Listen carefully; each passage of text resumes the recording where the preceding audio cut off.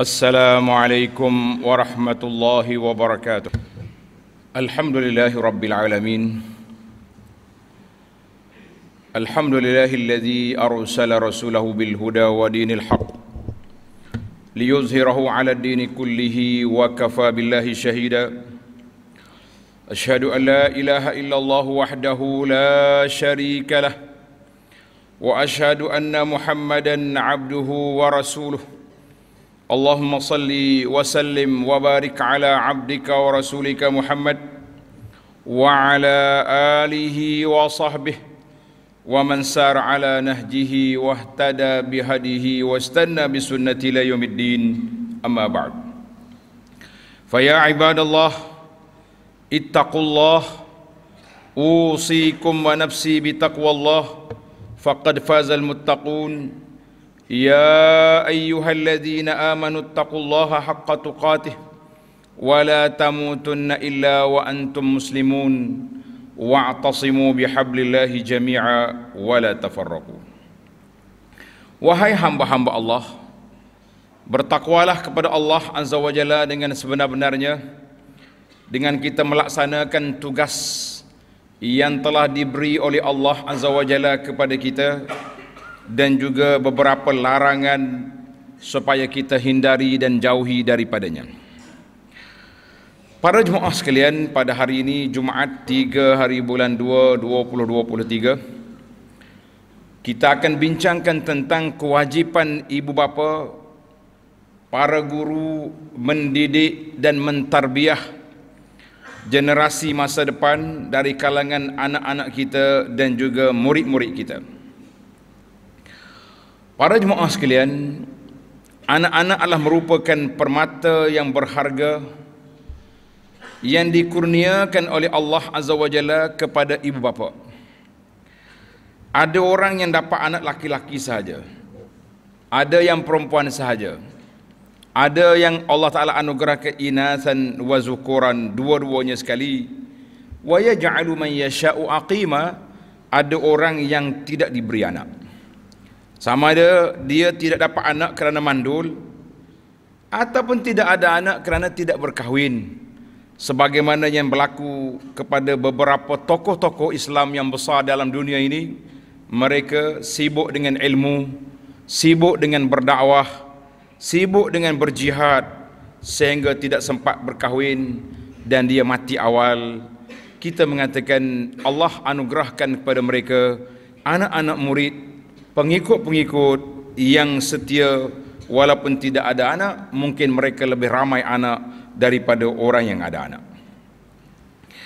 Para jemaah sekalian apabila kita hidup berkeluarga maka kita kena ingat apa yang Allah anugerahkan kepada kita itu adalah merupakan suatu anugerah yang mesti kita bentuk bina generasi yang akan mewarisi kehidupan kita di atas muka bumi ini mereka juga akan menjadi pemimpin yang akan memakmurkan bumi Allah Azza wa Jalla ini dengan iman dengan amal dengan melaksanakan syariat yang diperintahkan oleh Allah Azza wa Jalla kepada kita.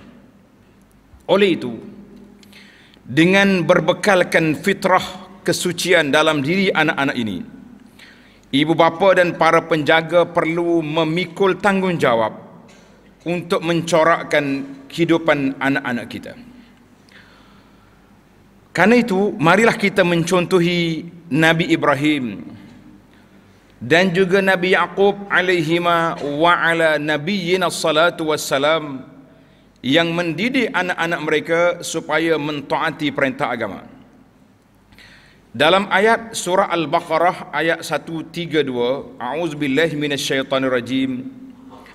Wa wassa biha Ibrahim banihi wa Yaqub. Ya bani inna Allah astafa lakumud din. فلا تموتن إلا وأنتم مسلمون dan Nabi Ibrahim pun berwasiat dengan agama itu kepada anak-anaknya. Demikian juga Nabi Yakub berwasiat kepada anak-anaknya dengan katanya, "Ya bani, wahai anakku, sesungguhnya Allah telah memilih agama Islam ini menjadi ikutan kamu maka janganlah kamu mati melainkan kamu dalam keadaan Islam para jemaah sekalian kita berada di awal tahun tapi selepas daripada zaman Covid ini sudah menjadi akhir tahun pendidikan pengajian anak-anak mungkin di saat ini kita sedang mencari-cari di manakah tempat kita nak letak anak kita yang telah tamat sekolah rendah untuk dijadikan sebagai bekalan pemimpin masa depan. Maka di sinilah menjadi peranan ibu bapa memilih di manakah tempat yang kita nak letak anak kita. Alhamdulillah di negeri kita ini makmur ataupun subur dengan pusat-pusat pengajian, sekolah-sekolah ma'had-ma'had agama, sama ada di bawah kerajaan negeri kerajaan negeri, kerajaan persekutuan dan juga yang persendirian seperti di pondok-pondok seperti kita ini kita mengatakan ruang yang diberi terbuka depan mata kita luas anak yang berminat dengan tahfiz hafal Quran ada dua jenis tahfiz di tempat kita satu dia panggil tahfiz full penuh satu lagi tahfiz sains tapi penuh channel dia nak pergi kepada orang yang alim dalam bidang Al-Quran, dalam bidang agama. Tapi sains mungkin dia pandai dalam bidang Al-Quran, tapi lebih kepada aliran pengajian sains yang dia boleh jadi doktor, boleh jadi engineer, boleh jadi macam-macam lagi yang boleh jadi. Kita mengatakan profesional hafiz ataupun profesional muslim. Ataupun nak mengaji dalam bidang pondok yang kita nak talaki ilmu turas, ada juga tahfiz, dan ada juga pengajian kitab-kitab dan ada juga pengajian akademik sebagaimana yang berlaku di pondok kita ini alhamdulillah maka pilihan itu di tangan ibu bapa untuk mencari di mana anak kita yang sesuai contohnya lima enam orang anak kita belajar sekolah biasa. Kenapa tahun ini kita tak pilih anak kita yang nak masuk menengah ini? Kita pilih di sekolah agama. Di sekolah tahfiz di sekolah pondok yang kita salah, salah seorang daripada anak kita menjadi bekal ialah akan menjadi imam menjadi orang yang menjadi rujukan dalam keluarga dan sebagainya. Kita mengatakan ini perancangan teliti yang perlu dibuat sehingga kan kita ingat lagi pesanan guru-guru kita pondok ni bukan tempat buangan jangan duk cari hok tak pakar dah. Hok tak ada A kosong A nak gimana hok perangajian dunia ni sudah tertutup barulah mari pondok tok guru kalau-kalau anak saya boleh jadi orang. La itu fenomena zaman dulu. Zaman kita hari ini kita menjadikan yang utama anak-anak yang cerdik inilah yang akan menghafal Al-Quran yang akan menghafal sunnah Nabi sallallahu alaihi wasallam kita nak lahirkan pendakwah-pendakwah nak lahirkan guru-guru yang masa depan ini di kalangan ahli agamawan orang yang cerdik orang yang bijak boleh hafal Quran boleh hafal hadis tahu di mana hadis sahih di mana hadis tak sahih. Kalau tidak pakai jadi apa yang ada dalam kitab semuanya hadis. Inilah yang menyedihkan kita. Para jemaah sekalian inilah tanggungjawab besar yang wajib dipikul oleh setiap ibu bapa pendidikan dan bimbingan kepada anak-anak melalui acuan tarbiyah Islam mestilah dijadikan perisai kepada mereka di dalam membezakan antara hak dengan batil mana saja aliran kita nak bawa anak kita, saing ke, tak saing ke, yang pentingnya mantapkan kepahaman mereka dalam sudut agama, dari sudut tauhid, dari sudut akidah dan juga dari sudut akhlak. Berbagai-bagai aliran yang sudah ada sekarang ini di sekolah-sekolah rendah, ada kelas pengajian Al-Quran, ada kelas kafa, ada fardu ain, macam-macam ada. Tapi kalau ibu apa tak cakna, tak pernah tanya anak mengaji apa, mereka balik simpan dia punya muzakirah ataupun nota simpan dia buku punya buku. Kita nampak pengajian untuk untuk peperiksaan pengajian agama bukan untuk amalan. Maka ibu bapa perlu mendorong anak-anak supaya sentiasa mentaati Allah Subhanahu wa taala mengamalkan sunnah Rasulullah sallallahu alaihi wasallam kita semak amalan anak-anak kita dan kita sendiri apa yang aku buat ni bertepat dengan sunnah ke tak tepat kalau tak tepat, kenapa kita tak mau ubah? Sedangkan kita telah menerima pesanan besar, wasiat akhir baginda Nabi sallallahu alaihi wasallam alaikum bisunnati wa sunnatil khulafa'ir rasyidin al mahdiin min ba'di 'addu 'alaiha bin nawajiz. Semak balik kita punya kedudukan. Kita tengok juga bagaimana anak-anak kita nanti akan memberi sumbangan kepada agama, sumbangan kepada masyarakat dan negara. Sesungguhnya kehidupan beragama adalah benteng pada manusia agar terselamat daripada azab neraka sebagaimana hadis yang diriwayat oleh Imam Al-Bukhari daripada Sayyidina Abi Hurairah radhiyallahu anhu sabda Nabi sallallahu alaihi wasallam kullu mauludin yuladu ala al-fitrah fa abawahu yuhawidanihi aw yunassiranihi aw yumajjisanihi kamathalil bahimati tuntajul bahimah hal tara fiha jada'a maksudnya setiap anak yang lahir itu dalam keadaan fitrah maknanya suci bersih termasuk anak orang kafir Maka kedua ibu bapa lah yang mencorakkan gaya hidup anak itu. Pendidikan apa yang dia terima. Nak jadi Yahudi? Nak jadi gaya hidup ikut Nasara, Kristian? Ataupun Majusi, penyembah api? Sebagaimana binatang ternak yang melahirkan binatang ternak dengan sempurna? Adakah kamu melihat ada cacat padanya? Maksudnya analogi bandingkan ini baginda Nabi sallallahu alaihi wasallam telah memberikan kepada kita suatu peringatan bahawa anak ini acuan dia fitrah benar comel bersih. Tapi siapa yang mencorakkan kehidupan anak-anak? Iaitulah ibu bapa. Kalau anak itu lahir di rumah Yahudi dia membesar dalam cara Yahudi. Lahir di rumah Kristian lahir di rumah Majusi itu kita kata logik lah. Tapi yang sedihnya yang lahir atas rumah orang Islam juga berperangai seperti Yahudi, berperangai seperti Nasara. Hari ini siapa salah? Kalau kita nak tanya di sini, siapa bersalah? Kalau anak kita tak salat. Saya pergi cepuh di sebuah sekolah. Kita suruh pelajar-pelajar nyatakan apakah punca anak-anak remaja tak sekolah eh, tak solat. Ada yang mengatakan ibu bapa tak cakna. Dengar. Lewahan daripada pelajar ini mengatakan ibu bapa yang tak peduli menyebabkan anak tak solat. Bermakna kamu bertanggungjawab di hadapan Allah Azza wa Jalla di akhirat nanti. Kenapa kamu tak didik anak? Kenapa tak asuh dia?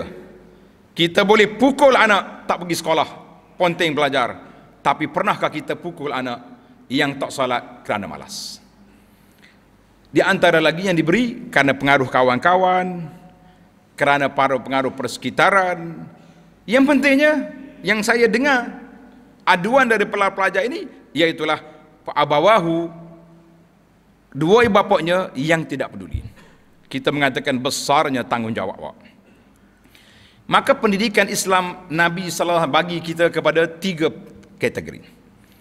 Yang pertama umur tujuh tahun.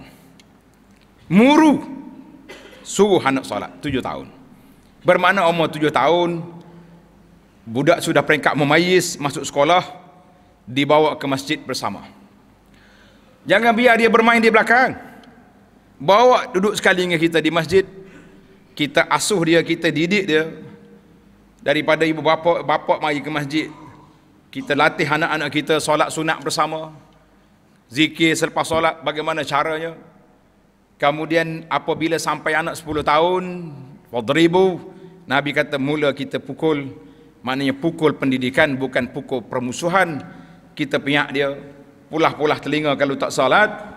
Tapi bila sampai sudah umur 15 tahun sudah balik Maka baini wa bainahu Bainal ab wa bainal ibin Suatu sikap mesti tegas. Maknanya kita tahu anak kita sudah besar.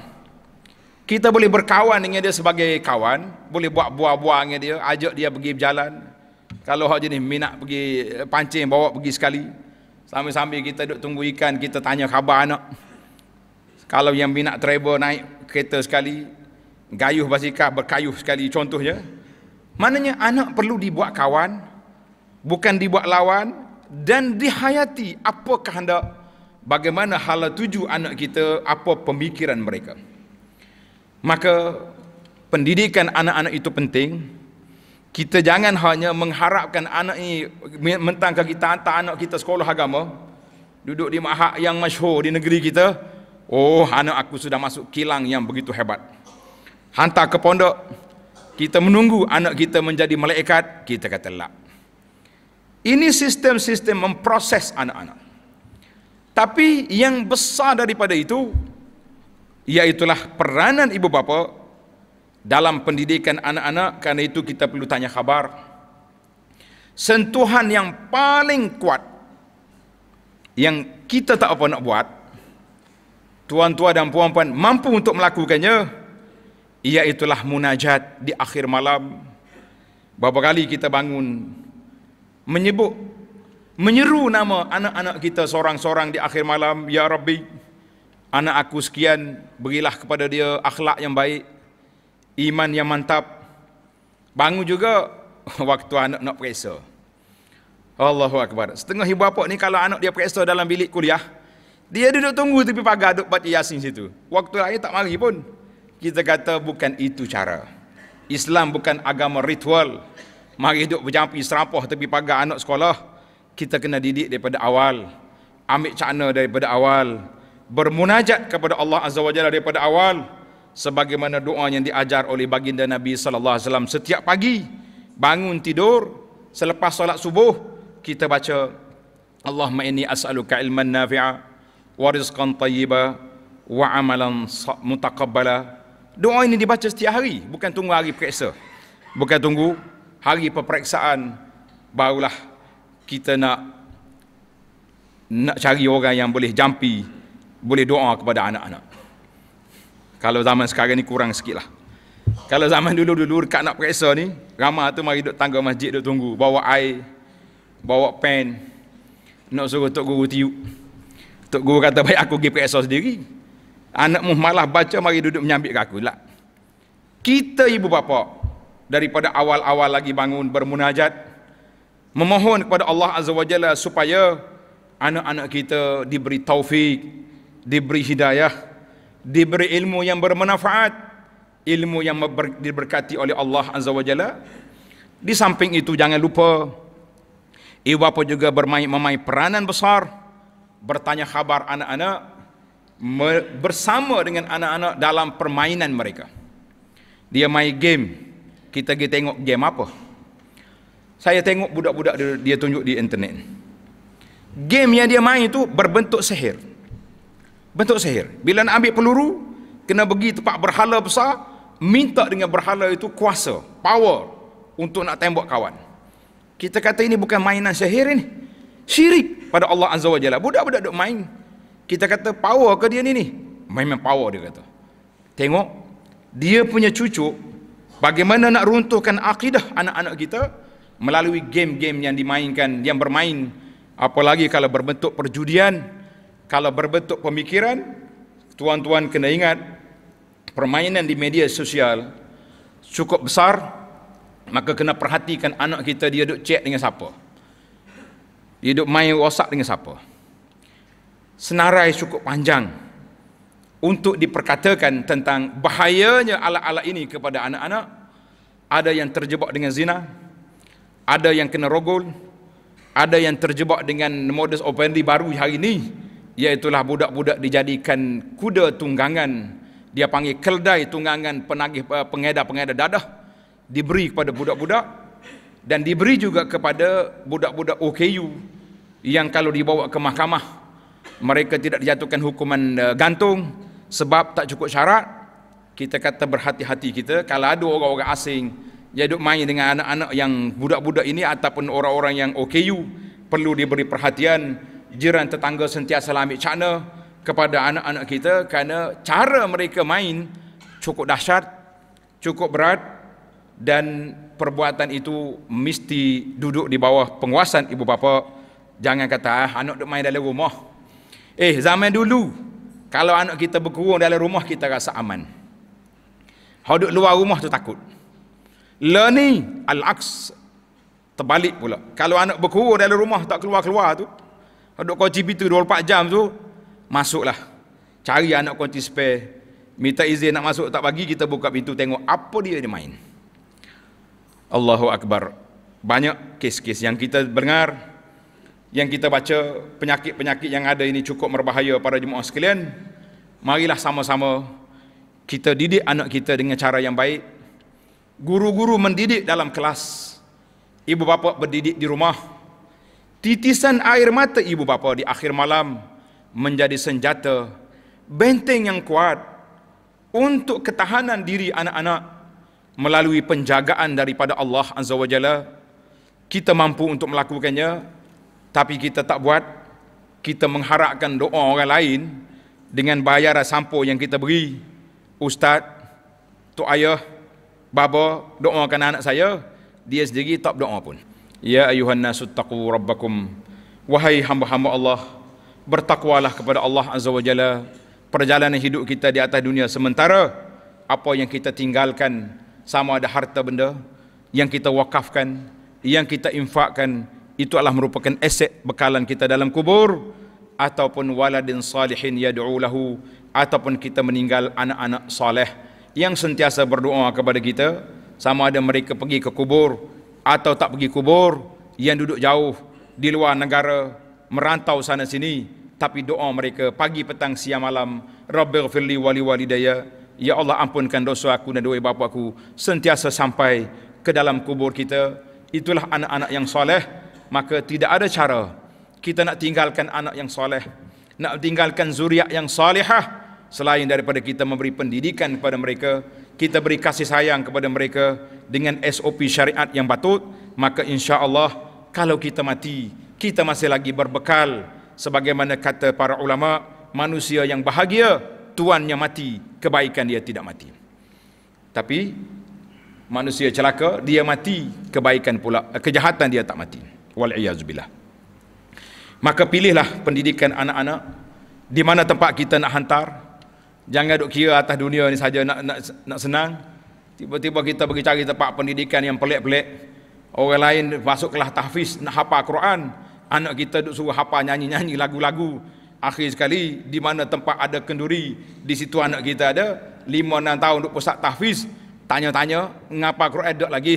Kau duk hafal qasidah? Kenapa? Kerana memenuhi acara bergendang sana sini ini juga perlu diambil perhatian bukan semua pusat pendidikan atas nama agama boleh dipercayai selidik dulu sebelum dihantar sebelum kita serahkan anak-anak kita kepada pusat-pusat pendidikan.